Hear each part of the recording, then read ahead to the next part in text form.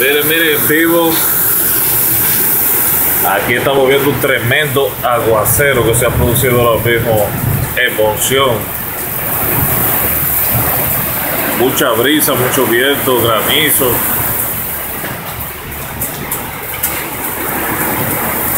Me encuentro en la localidad de Chipero, en Monción, República Dominicana. Reportándole a ustedes este aguacero a esta hora de la tarde.